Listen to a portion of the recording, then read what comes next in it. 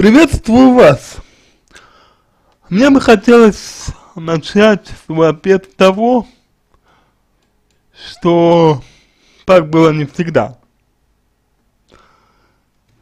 Не всегда ваш муж вел себя так, как он ведет сейчас.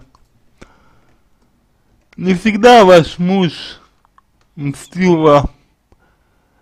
Не всегда ваш муж э, вел себя подобным образом.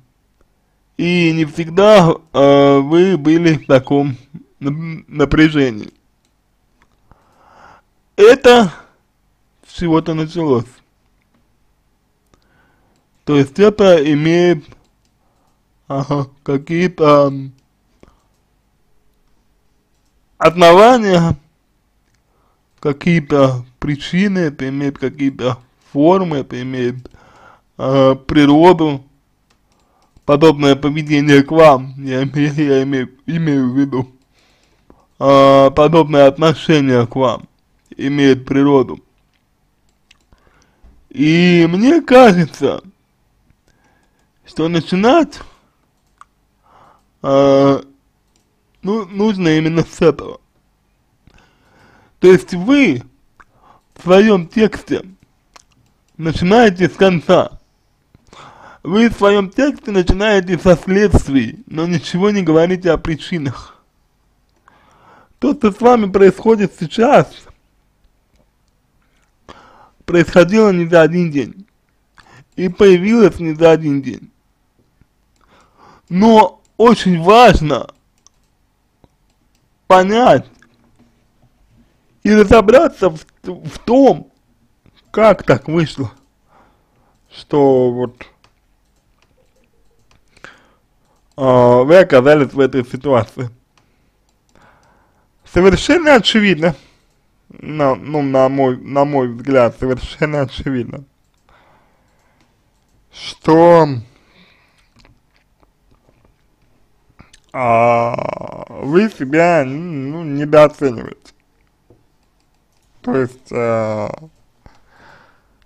совершенно очевидно, что вы не цените себя, совершенно очевидно, что вы а, не любите себя, совершенно очевидно, что вы а, не прислушиваетесь к себе, совершенно очевидно, что вы а, себя не цените, совершенно очевидно, что а, вы не заботитесь о себе. Совершенно очевидно, что вы как бы позволяете а, значит, мужчине, своему мужу а, вести себя именно так. И у этого, то есть вот у того, что вы так ведете себя, есть причины. А, нужно, конечно, разбираться а, в том, что это за причин, причины. Нужно, конечно, а, смотреть, почему так происходит но тем не менее. Ключевой момент именно, именно в этом, в том, что вы себя так поставили. И, конечно же, конечно же, а, вот именно там, где вы себя так поставили, и нужно корректи корректировать ваше поведение, ну, то есть начиная именно с этого аспекта, с того, когда вы начали себя так э, позиционировать. Для чего и почему вы стали, вы стали э, грубо говоря, сдавать свои позиции. Для чего и почему вы э, стали по-другому себя вести для чего и почему вы позволяете мужчине так а, ну, так, общаться с, с собой. Для чего и почему вы э, считаете, что вы должны быть хорошей, что вы должны быть э, хорошей женой и так далее. Вот.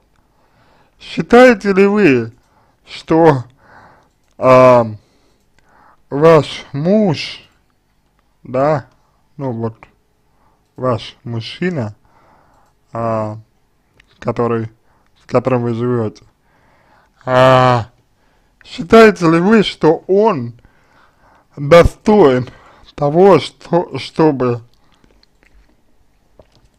а, ради него, для него хотеть быть хорошей женой? И, конечно же, необходимо э, рассматривать э, ваши ценности, э, которые у вас есть, а также ваше поведение. Смотрите, вы пишете, я уже просто не знаю, кто я или что я, потому что вы не делаете ничего для себя. У меня двое детей, и мне ужасно стыдно, что я дико устала с ними. Стыдно.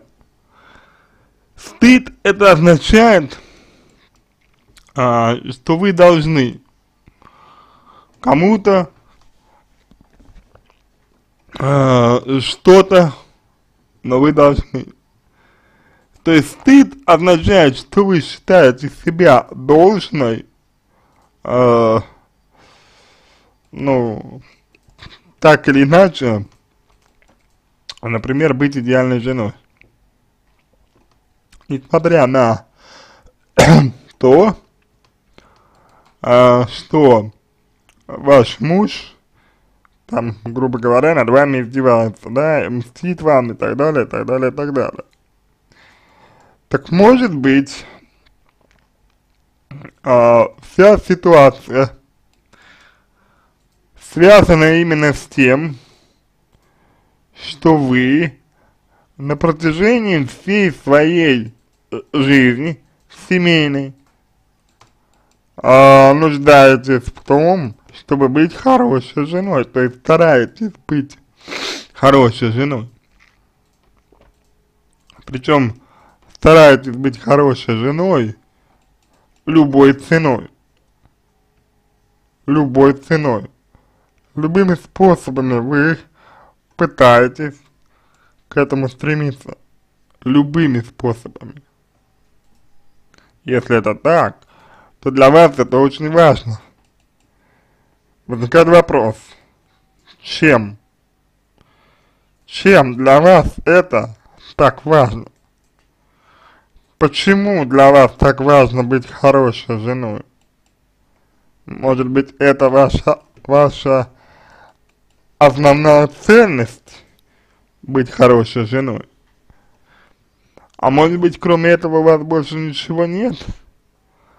А может быть, вы боитесь остаться одна? Эти моменты, безусловно, нужно разбирать. Я постоянно взрываюсь, пишите вы. А, взрыв это подавление своих чувств, подавление своих желаний. Необходимо определить, когда вы встали на путь подавления своих желаний. Какая для вас э, выгода в этом, в том, что, ну, в том, что вы, э, значит, встали на этот, на этот путь подавления своих желаний. Вот. Все это также нужно разбирать. То есть взрыв, то, что вы взрываетесь, это связано с тем, что вы свои эмоции подавляете. Просто не позволяете им а, выражаться своим эмоциям своим чувствам. Вы постоянно э, делаете что-то для других. Ну вот так, по крайней мере, э, получается, исходя из того, что вы э, написали здесь, вот, в тексте своем. А дальше, значит, дару подушку, чтобы хоть немного снять напряжение.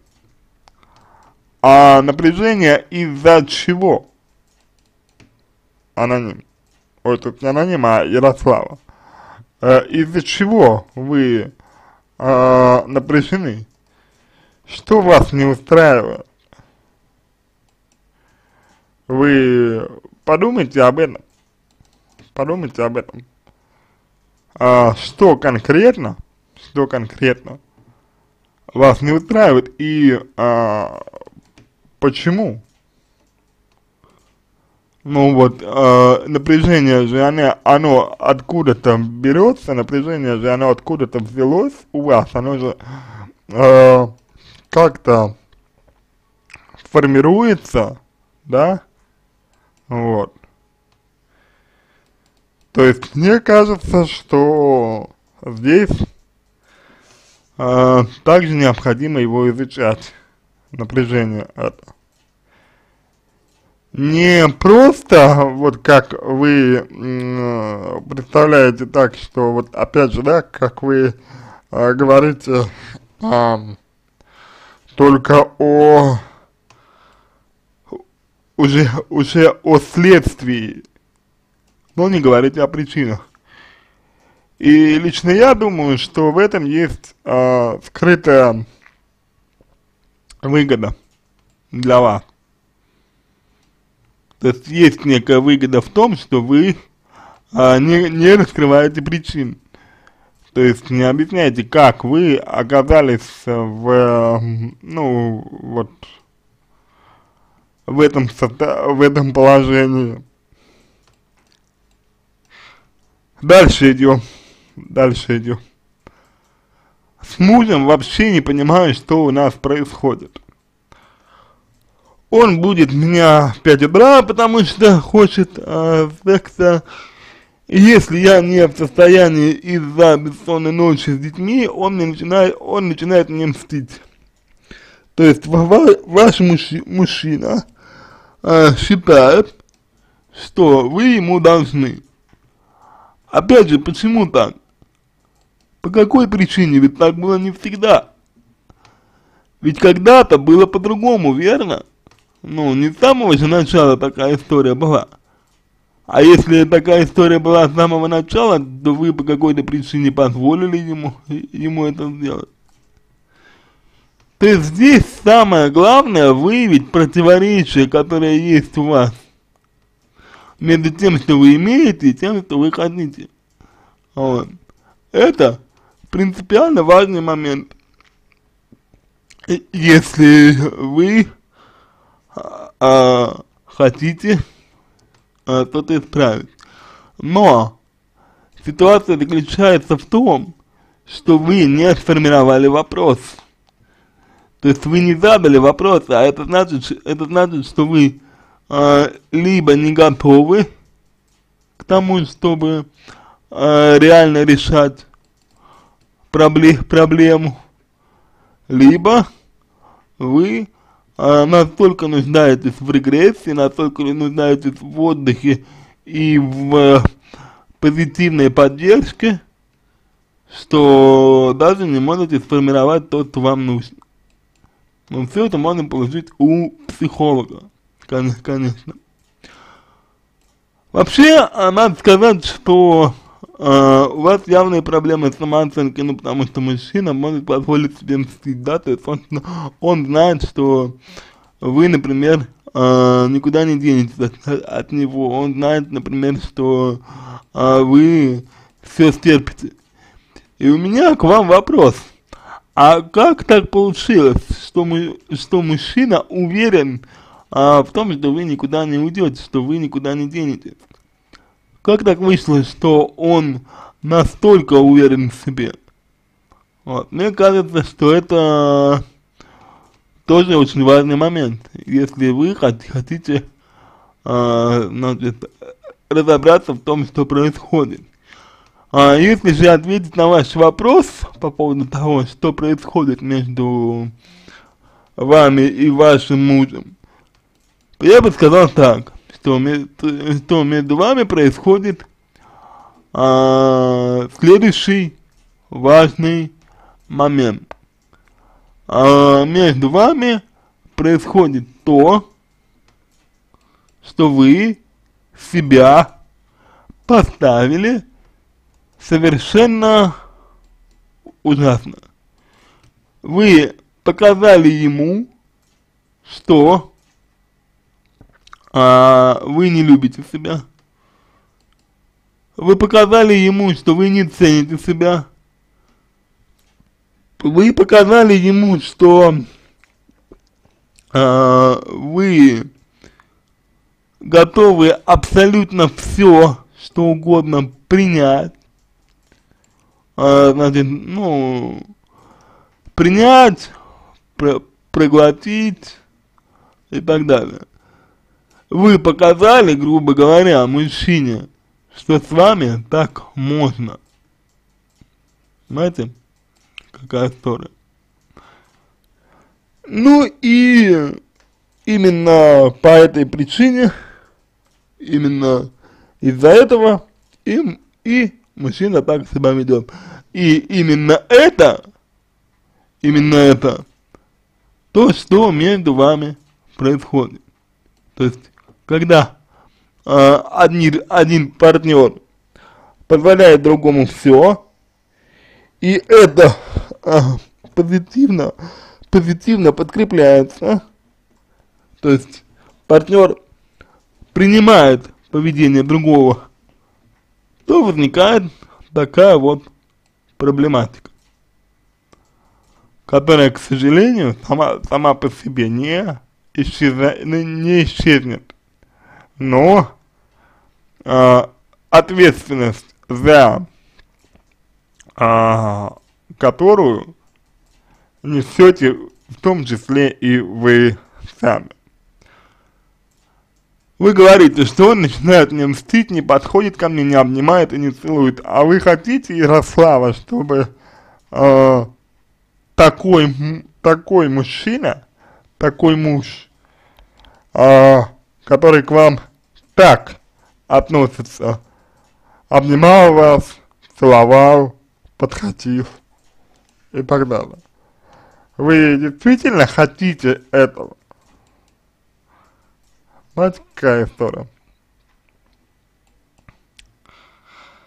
Дальше идем. Так, э, если я сама начинаю его соблазнять, он довольно улыбкой, ухмылкой говорит, сейчас я не хочу, я вижу, что это место. Ну, правильно, вы позволили ему так себя вести. Сил больше нет так жить, плакать устал. А, ну, соответственно, это тупик. Вы можете почитать про этот сценарий, он э, есть в интернете. А я пытаюсь быть хорошей женой, хорошей мамой, а для чего? Кто определяет, что, что есть хорошая жена и хорошая мама? Кто определяет? На кого вы ориентируетесь а, при подобном желании? Ну, но меня постоянно, как, как котенка, а, тыкают носом, а, а я последняя дура, все пытаюсь, пытаюсь а для чего пытаетесь? Понимаете, это не вас, э, как котенка тыкают, это вы позволяете себе, э, позволяете себя тыкать. Почему и для чего? Это уже другой вопрос. Это уже другой вопрос, который нужно разбирать. Так же, как и то, что вы пытаетесь. Это тоже определенный жизненный сценарий. То есть вы ставите себе заведомо неисполнимые цели, которые а, вами в любом случае не будут, достигну, не будут достигнуты, вы это знаете, но все равно их, их а, пытаетесь достичь. Для чего? Чтобы, вероятно, себе доказать, что я все равно не справлюсь. Я все равно не смогу. Я все равно не добьюсь того, чего хочу добиться. Понимаете, какая история? Вот. Он эмоционально меня уничтожает. Нет, не он эмоционально уничтожает, вы позволяете ему себя эмоционально э, уничтожать. То есть нужна ответственность, личная ответственность за то, что происходит. Когда пытаюсь выяснить, в чем дело, говорит, что меня нужно учить, отказала получше. Иногда жить не хочется. А кто позволил а, ему так себя вести с, а, собой? Вы? Вы. Вот вы говорите, что иногда жить не хочется. Так может быть, может быть, а, дело все в том, что вам изначально не, не очень сильно хотелось жить. И вы э, сейчас ищете э, оправдание для того, чтобы не жить. Кто, кто знает. Но в любом случае это также нужно разбирать. А, Ярослава, я только догадываюсь, а, какую цель вы преследовали, а, публикуя платный вопрос, то есть, если захотели, если вы хотели пожаловаться, то, в принципе, вы пожаловались, но что дальше? А если вы хотите что-то менять, менять, то нужно что-то менять. Это точно. Вот. Поэтому думается мне, что здесь необходимо четкое формирование целей и запроса к психологу, ибо без запроса это будет просто э, приглашение к игре, то есть вы жалуетесь и приглашаете нас к тому, чтобы вас жалеть. Я не думаю, что, что это хорошая идея, я не думаю, что это к чему-то хорошему приведет. Вот. А мы определенно оказались э, в кризисной ситуации. Определенно. Это так. Вот. Это действительно правда. Но это можно исправить, это можно подкорректировать, для этого нужно приложить усилия. Поэтому ответьте себе на вопрос, что вы готовы сделать для того, а, чтобы ситуация изменилась. Как вы хотите ситуацию изменить? Насколько вы хотите ситуацию изменить? Готовы ли вы встречать сопротивление? Готовы ли вы меняться сами? Если да, выбирайте себе эксперта и начинайте работать. К сожалению, за один ответ здесь ситуацию не решить. На этом все. Я надеюсь, что помог вам. Если у вас остались вопросы, пишите в личку, буду рад помочь. Если вам понравился мой ответ, буду благодарен, если сделаете его лучшим. Я желаю вам всего самого доброго и удачи.